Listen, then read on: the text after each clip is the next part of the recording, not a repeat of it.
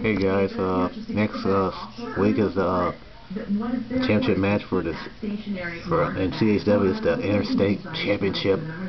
It's the challenger Eliza Raven versus the champion Matt Rage. Of course, they were tag team partners in that match a few weeks ago. Was uh when uh Matt Rage walked out on on Eliza, Eliza Raven. So uh, there's definitely gonna be a Be, gonna be a great match between these two, uh, the, uh, these two warriors. So, so definitely gonna be a great match for the Interstate Championship. Peace.